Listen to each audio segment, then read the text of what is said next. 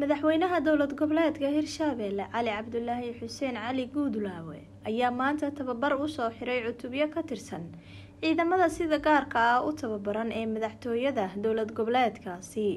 Cali guudlaawe ayaa ciidankiisa iyo saraakiisha hogaaminaysaba u sheegay in ay ku soo beegmeen xili loo diyaargaroobayo wejiga labaad ee howlgalka ka dhanka al-shabaab oo qeybtiisii koowaad howlgalkaasi dhul badan looga qabsaday.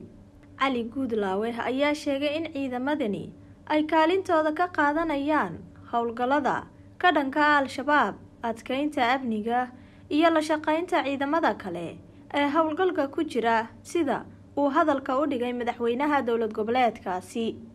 In ciidamada dadkan dhallinyarada oo go'aansaday dalkooda iyo dadkooda iyo diintooda inay difaacaan inaad u diyaarisiin tababar loo sameeyo runtii waad ku mahadsan tihiin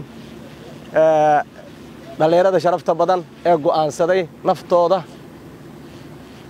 iyo wakhtigooda iyo dhiiggoodaba inay u huraan dalkooda iyo dadkooda inay difaacaan. Waad ku mahadsan tihiin maanta laga bilaabo hawshii aad ku jirteen oo tababarka ahayd mid ka duwan ayaa idiin bilaabanayso. Runtii waxaad ogtihiin dalku wuxuu ku jiraa xaalad dagaalo ku jiraa. Nimankii khawaarijta ee ummaddan u diida nolosha iyo horumarka ayaa dalkan laga xoreeyey intiisa badan. Waxaa la gelaya haddii ilaahay raalli ka noqdo.